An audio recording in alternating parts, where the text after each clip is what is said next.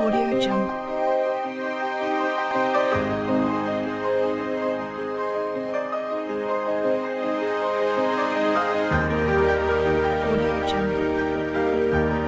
Ô Thái này, free ship này. Sao ở trên lớp mình gọi là uống được đấy. Vâng. Nhưng mà sao giá nó lại cao cao mà cái hình làm ngoằn đấy nhỉ? Định. Tớ đố cậu là cắt cái này ra. Cho Cắt nó vuông vuông phải ừ. xe máy này. Cắt xe máy luôn nha. Cắt không trượt phát nào nhá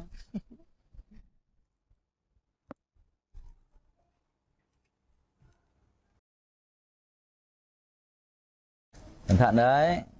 Sao đứt tay được? Đấy cô ơi em đứt tay rồi. Em đứt tay cô ơi. Rồi thái cầm giữ nguyên nhá thái giữ Vâng nguyên. ừ. hình như ở đây cô có chuẩn bị cái nước muối sinh lý mang theo thì phải. Đây rồi đây rồi. À đây may quá. ở đây có nước muối sinh lý rồi. Thế để cô về rửa vết thương nhá. Thái bỏ cái ngón tay cái ra. Rồi.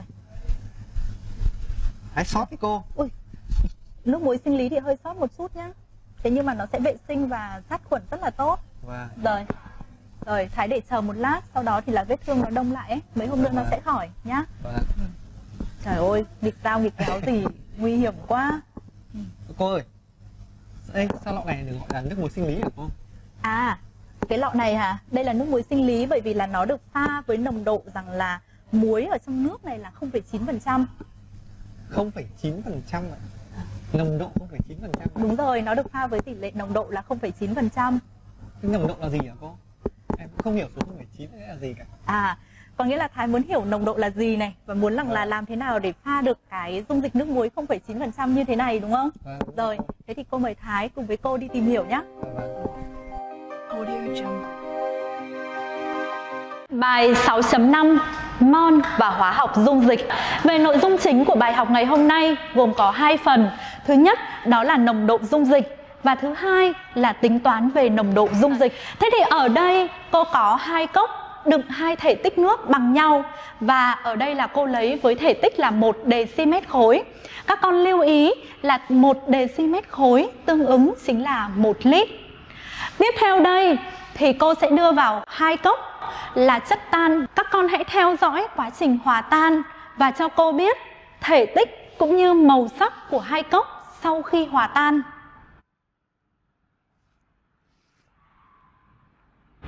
Các con quan sát thấy là cốc số 1 thì màu sắc nhạt hơn, còn cốc số 2 thì ta thấy là màu sắc đậm hơn. Điều này cho thấy là ở cốc số 2 lượng chất tan lớn hơn so với cốc số 1. Ờ, thế thì bây giờ cô lại có một tình huống khác. Nếu cô có hai cốc mà màu sắc dung dịch lại khác nhau, thế thì lúc này làm thế nào để các con đánh giá được hàm lượng chất tan có ở trong hai cốc này? Vậy để đánh giá hàm lượng chất tan có ở trong các cốc, chúng ta có một loại khái niệm có tên là nồng độ dung dịch.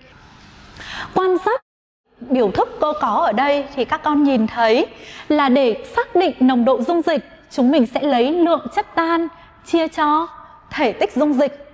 Để hiểu rõ về công thức này, ở đây thì cô có một ví dụ là mình sẽ hòa tan 10 gam NaOH vào trong 1 dm khối nước.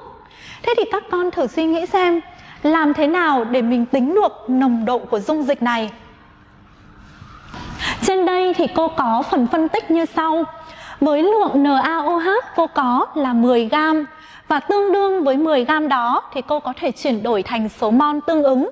Thì ở đây lấy 10 gam là khối lượng chất chia cho khối lượng mol thì ta sẽ có được số mol là 0,25 mol. Với hai giá trị về khối lượng chất và giá trị mol thì cô có thể tính nồng độ theo hai cách như sau. Cách thứ nhất, đó là cô sẽ lấy khối lượng chia cho thể tích dung dịch. Và cách thứ hai là cô sẽ lấy số mol chia cho thể tích dung dịch.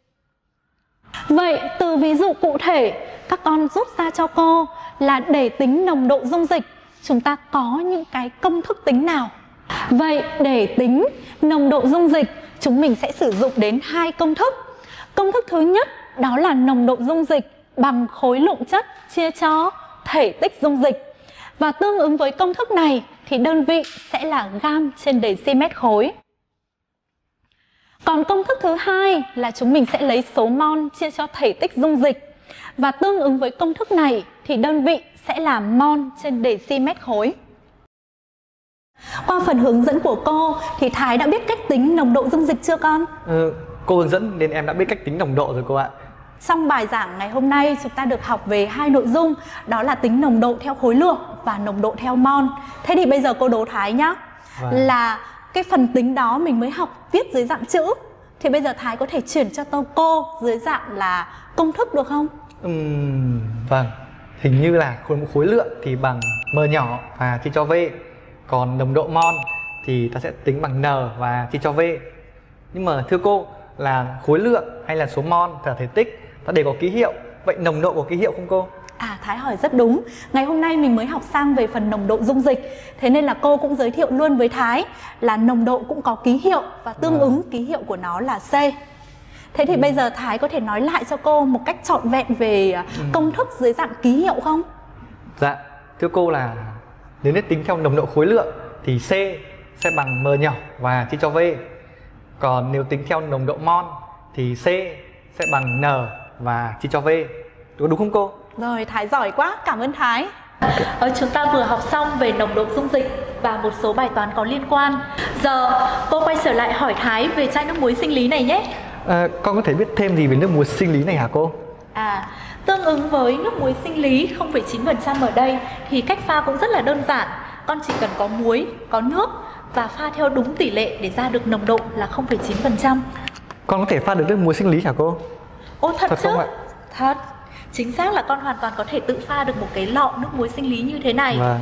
Ở đây cô hướng dẫn Thái một chút nhé Là nồng độ 0,9% thì nó tương đương với là tỷ lệ là 9 gram trên deci mét khối Thế thì bây giờ con có thể là suy nghĩ là dựa vào kiến thức bài học pha cho cô một lít dung dịch nước muối sinh lý được không? Ừ, với nồng độ là 9 gram trên 1 decimet khối. Ừ, con nghĩ ra rồi. Thì chúng ta có thể sử dụng là 9 gram muối và pha với cả thể tích là 1 decimet khối hay là 1 lít ý, thì hình như chúng ta cũng được một dung dịch nước muối sinh lý là 9 gram trên decimet khối rồi. Ờ, Ừ. cách nói của Thái thì hoàn toàn chính xác rồi Tuy nhiên cô muốn thử xem rằng là cái khả năng thực hành của Thái như thế nào Vậy bây giờ Thái có thể làm trực tiếp cho cô được không? Vâng, được ạ. Thì chúng ta cùng đi pha nước muối sinh lý thôi.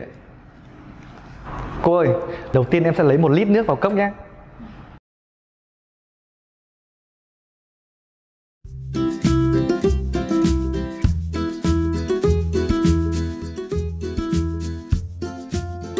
Đây, ở đây em đã có một lít nước rồi này. Bây giờ em sẽ cân muối ăn thì 9 gram. Đúng rồi, Thái nhớ rất chính xác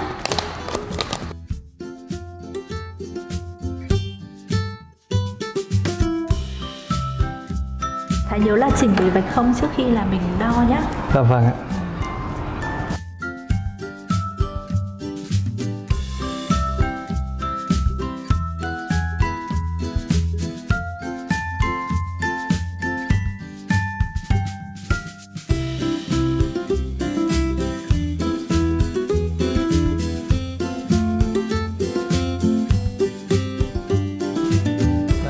Cân được 9 gram muối ăn rồi này cô.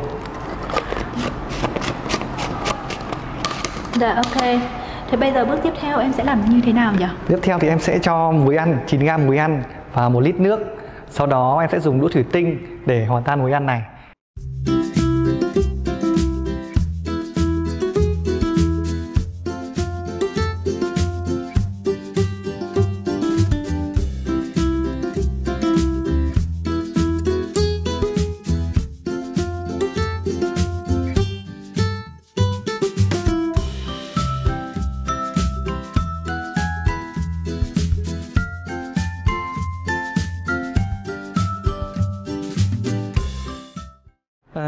Ở đây con đã pha hòa tan đủ 9 gram muối và một lít nước thì chúng ta đã thu được dung dịch nước muối sinh lý đúng không cô?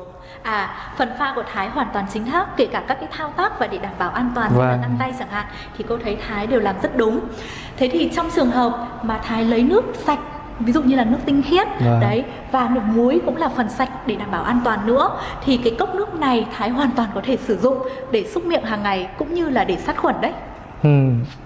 Cô ơi, ở nhà con thì mọi người hay bảo là pha nước muối để vệ sinh răng miệng thì càng mặn càng tốt đúng không cô?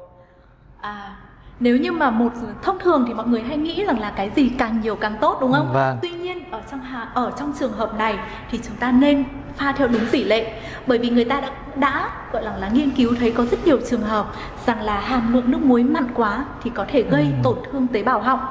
Chính vì lý do đó nên trong cách pha nước muối này thì các con thấy rằng là ở à, hiệu thuốc hay ở bất kỳ đâu người ta bán thì cái chai nước muối sinh lý thì đều là ở cái tỷ lệ là 0,9%. Đây chính là tỷ lệ mà à, an toàn nhất và tỷ lệ vừa đủ để có thể là diệt khuẩn đảm bảo an toàn nữa. Thôi, vậy thì về nhà có phải nhắc lại cho bố mẹ và ông bà con thôi không thì mọi người lại pha nước muối gây ảnh hưởng đến sức khỏe mất Thái có biết không, à, khoa học thì sẽ um, giúp chúng ta khám phá được rất nhiều điều thú vị của cuộc sống. Ờ, ngay như trong bài học ngày hôm nay thì Thái cũng thấy là chúng ta vừa có thể tự pha được nước muối sinh lý. À, có điều là vừa rồi thì là cô có hướng dẫn Thái là tương ứng với nồng độ 0,9% là 9 gram trên decimet khối đúng không? Thế thì bây giờ cô có một câu hỏi ngược lại cho Thái này là Thái và các bạn à, học sinh Vinschool hãy suy nghĩ xem rằng là làm thế nào mà cô chuyển đổi được cái nồng độ 0,9% này sang thành 9 gram trên decimet khối.